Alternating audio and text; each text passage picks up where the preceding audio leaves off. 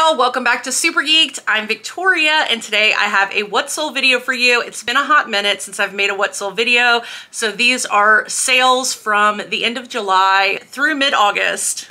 I own a reselling business where I sell women's clothing, sometimes men's and children's, mid-century hard goods, and antique collectibles. So today I'm gonna share with you eBay and Poshmark sales if you're a reseller or if you're interested in getting into reselling, I think these videos are very helpful because it shows what's selling for other people. You hear about brands you can pick up when you're out thrifting, and you also can get insight onto price points you might want to list an item at, all kinds of good things. So we're going to start with eBay.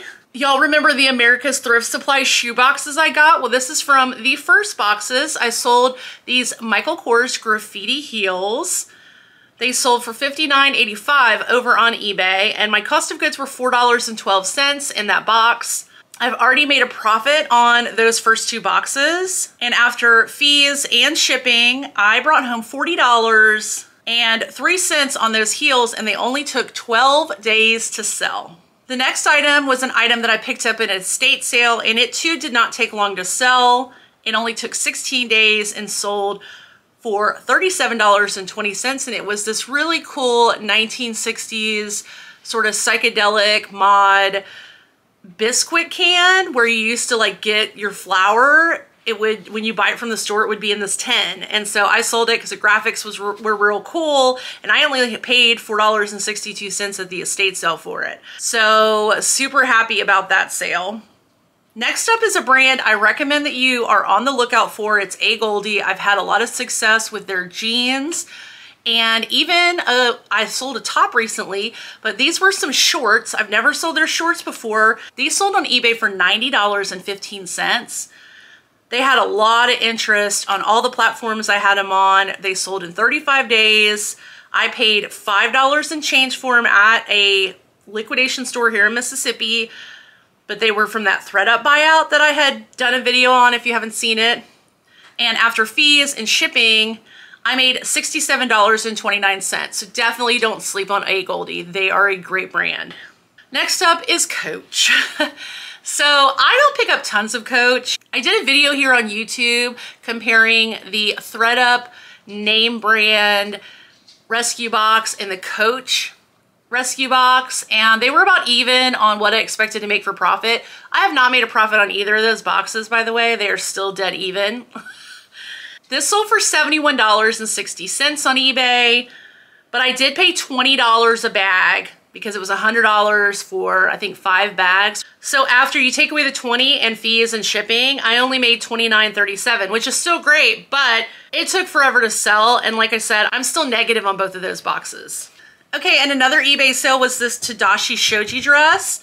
I do like this brand. It seems to have a little bit more of a mature audience, but it is good for like evening wear.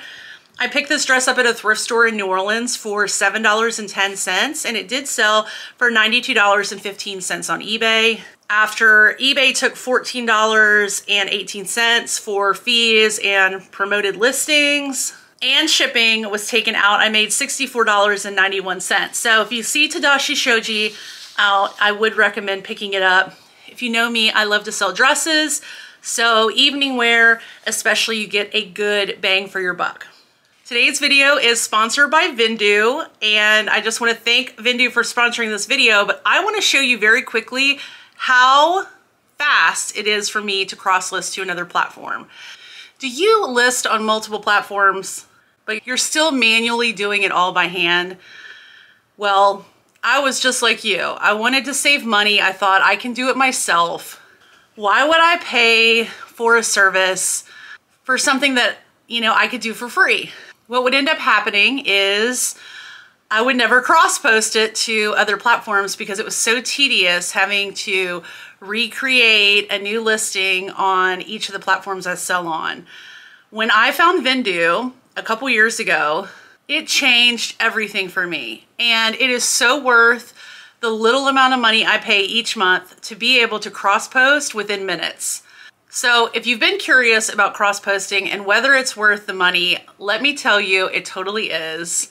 You can create your listing in Vendoo and then cross post it to all the platforms you sell on, or you can create it in your favorite marketplace. In that case, for me, it's Poshmark. Poshmark's super easy to list on. So I create my listing in Poshmark, takes a couple minutes. Once I get it listed, I then import it into Vendoo and I cross-post it to the other platforms and it just takes a couple clicks.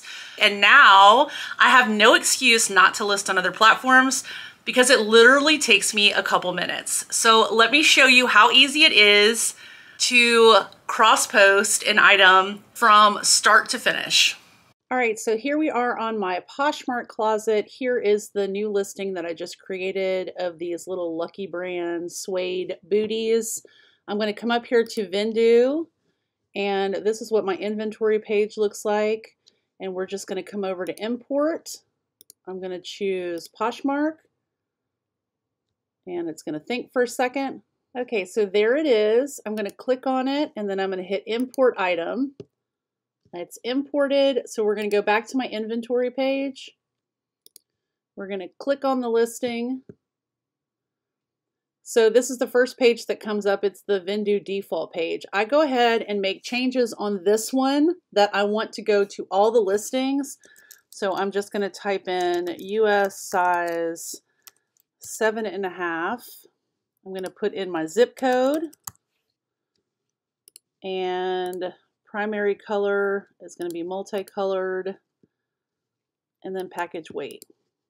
So I'm going to come over to eBay, and you'll see that the US size 7.5 transferred. I'm going to come under here, and these are all the item specifics that I have to put in. So these are booties. Upper material is going to be suede, women's, boot. It's already pre-owned and I'm going to accept offers to 45 and then hit list on eBay. And then it's already listed and now I'm going to come over to Mercari and we're going to go to boots size seven and a half.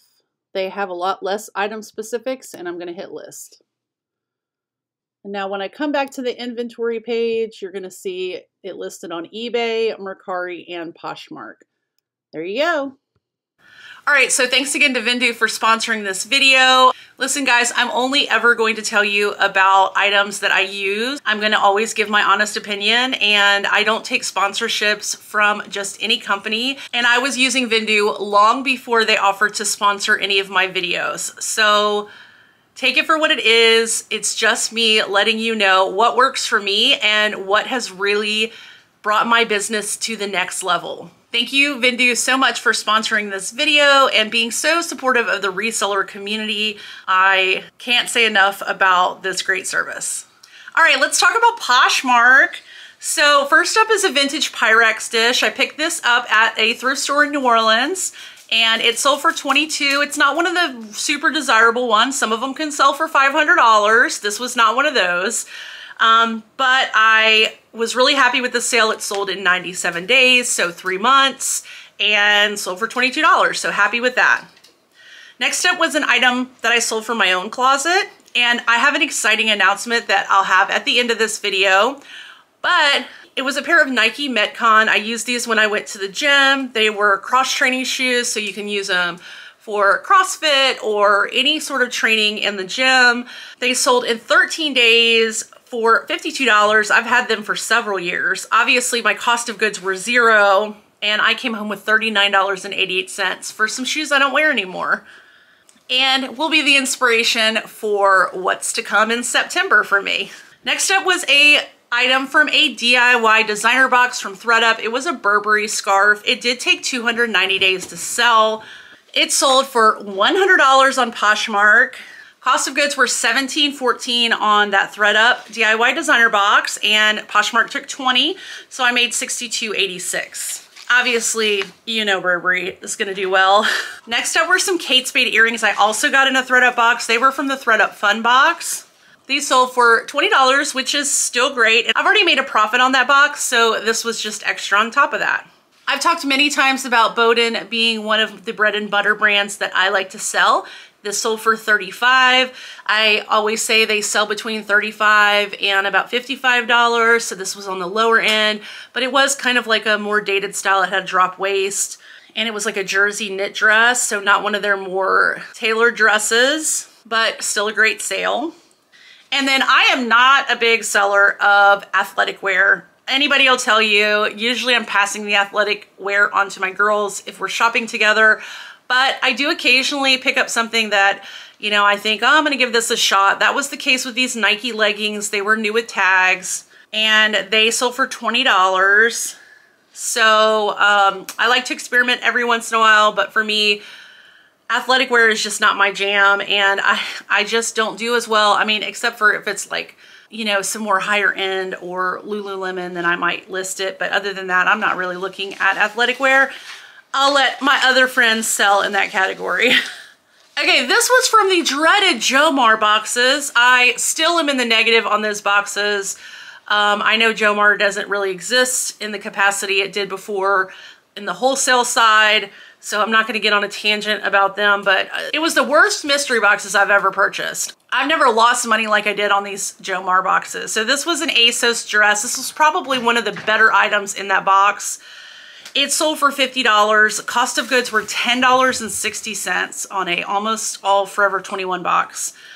Um, and after Poshmark took their fees of 10, I took home $29.40. And like I said, I'm still negative $58.53 on that, the box that this one came from. Next up was a vintage item I purchased last summer. It was a men's 1970s Dixon Jackson Pearl Snap Western shirt and it sold for 20. I like to pick up men's if I find some pieces that speak to me um, or that I'm interested in. I don't really seek out men's, but if I find something I think that I can sell and make a profit on, I'm gonna pick it up. And this, this shirt sold for 20, so I was happy with that. Next up was a bundle of some lower end brands that I wouldn't normally source in a thrift store. Well, I wouldn't source in a thrift store now. Um, there were some American Eagle jeans. I do pick up American Eagle sometimes at the bins if they're a newer style. These were actually some older American Eagle, but I bought them from someone who was about to donate a bunch of clothes. And um, so I paid thrift store prices for the items that I got. And so I was fine with that. And then it also in contained in the bundle a J. Crew top that I purchased at the very beginning of me starting reselling. It actually took 1,031 days to sell this J. Crew top. It was J. Crew Factory. I never pick up J. Crew Factory now. Uh, it was semi-sheer. It was just this basic top. I don't know why I purchased it. I mean, it was 99 cents, so I'm guessing that's why, because I used to buy stuff that was 99 cents when Goodwill had those dollar days. Um, even if they weren't great band, brands because I was still trying to figure things out as far as reselling. But the American Eagle jeans sold for 17 and after you divide up the fees from Poshmark, I made 860 on those. And then the J. Crew top sold for 17 also and I paid 99 cents for them after you deduct the fees.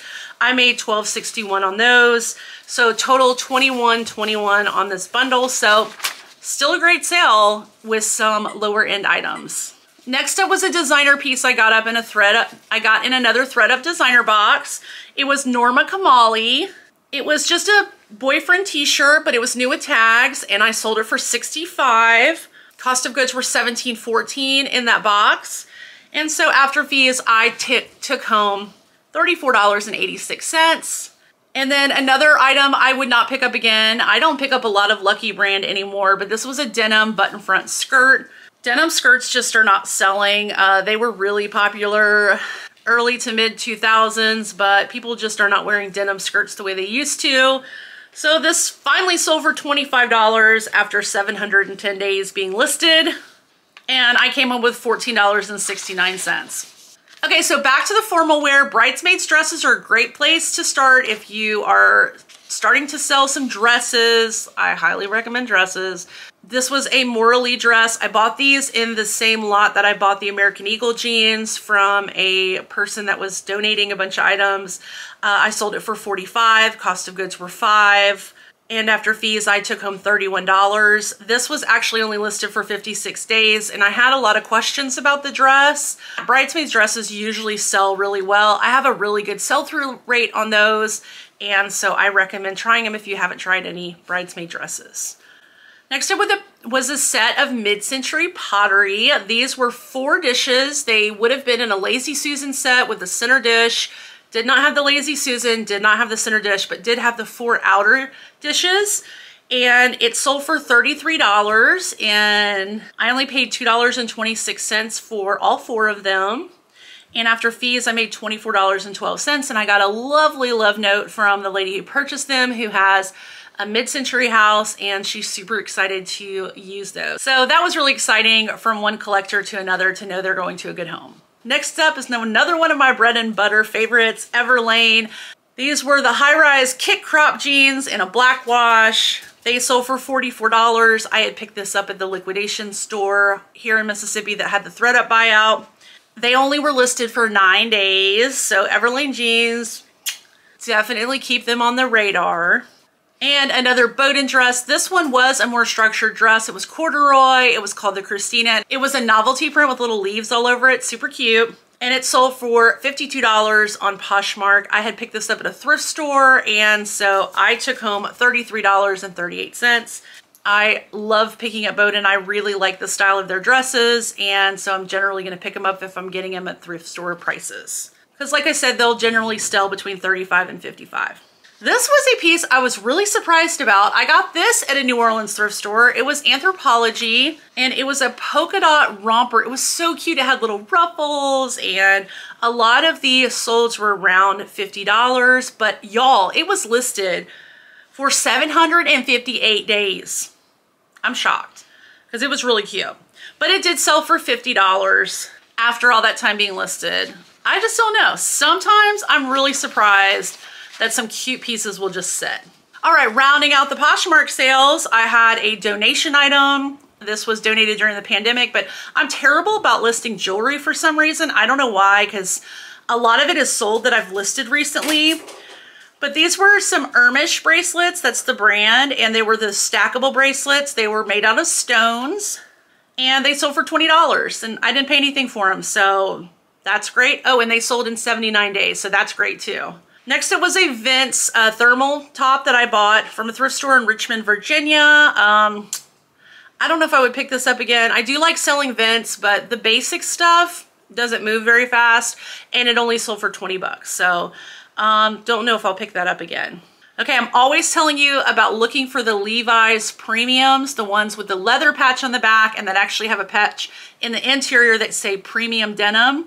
These were the Levi's premium wedgies, which is a super hot style. They were the high rise with the raw hem and they sold for $52. I only paid $5.35 for them. And after fees and a shipping discount that I gave, I took home $34.53 on those wedgies. Okay, y'all know I love to sell ModCloth. You are always gonna see a ModCloth item in these videos, unless I stop selling ModCloth. But this one took forever. So I bought this at the very beginning of my reselling journey when I did a big buyout at the liquidation store of, the, of ModCloth inventory they got in. It sold for 38, but y'all, it sat for 718 days. Now, I did sell this dress in other sizes and they sold fairly quickly a couple years ago. But this one, this medium one, I don't know why. It just sat and sat and sat. I relisted it a couple times, but anyway, I'm glad it finally sold. The next item's a vintage piece, and I had no way to authenticate this was 100% real, but I'm pretty sure it was. So it was a late 70s, early 80s style, what they call carriage skirt, which is about um, below the knees. So it's like um, not quite midi length, but like calf length. And what it does is it wraps and it snaps in the front. Very popular. Uh, they had a lot of these skirts in like terry styles in that era. But this had an embroidery of a carriage on it. On It had a single pocket on the front. It had red trim. The fabric content from what I could tell and the stitching and the style and the lining all said late 70s, early 80s to me. And then there also was a single button that was the double G Gucci logo. I actually thought about keeping this skirt just to take the button off and make like a, a Gucci necklace out of, you know, the button. But I thought I'm just gonna list it first and see if it sells. And then if not, I'm just gonna keep it and I won't worry about it. Um, but it had no interior tags, no, nothing. So no way for me to 100% authenticate. So in that case, I listed it on Poshmark. I did not list it on eBay for fear that I would get the dreaded ban again. Um, and I didn't want to do that. Um, so I did list it on Poshmark and Mercari and Etsy and just didn't do um, eBay. But it did sell for $80 on Poshmark. I paid $6.30 at the thrift store. And after they took $16, I made $57.70 on this vintage Gucci skirt. Okay, and last item I'm going to share with you are these really cool jeans by Zara. They were called the Ripped Stain Dye jeans. They had uh, the full rip knees. They were in a straight leg very cool. They only took 90 days to sell. This would be an example of a Zara piece. I don't pick up all Zara, but trendy Zara pieces I will pick up. So it sold for $46 and I only paid $5.85 for them at the thrift store. After Poshmark fees of $9.20, I took home $30.95 on those Zara jeans. So I've said this before, I'll say it again. If you find Zara and it's a cute style, look it up. It may be worth picking up. So that's all the sales I'm gonna share with you today. I hope you enjoyed this video. I do have a big announcement. So I have a death pile that's been looming for two years. I've never gotten rid of it. And sometimes I've got it down, but then it always builds back up. So what I've decided to do in September, I traditionally will do a source free September where I try to bring down my death pile. And I'm gonna do that this year too. However, something else is gonna happen in September, and that is I am only going to source from my house. I need to get organized. And so what I think I'm gonna do is the whole month of September, I am going to film me going through each room of my house and finding items to list and hopefully give you motivation, especially if you're a new reseller. You don't have to go out and buy inventory, start at home. Start finding stuff in your own house.